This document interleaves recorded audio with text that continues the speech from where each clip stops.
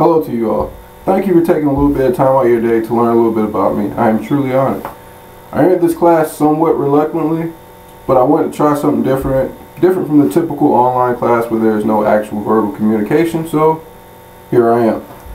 As you already know, my name is Cedric, but we're going to talk about things you probably don't know about me. I'm a 17 year Army soldier, and I know you might not believe it because I look like I'm 18. Just kidding.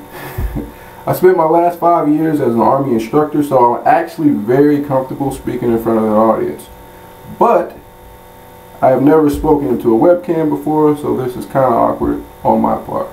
I enjoy my military career, but all good things must come to an end sometime.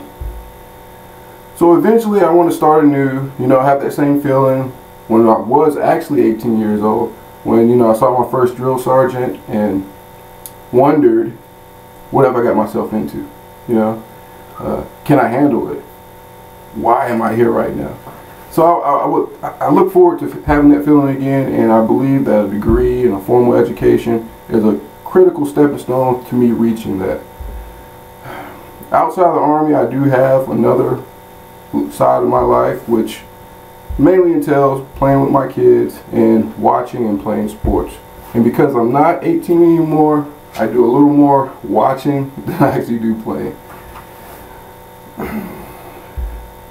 Well, I'll keep it short because I know you all have busy lives and I thank you for using a little bit of that time to watch this video about me. I look forward to learning from you all and the overall experience I will gain from this course. And until next time, which I have a feeling won't be long from now. Thank you.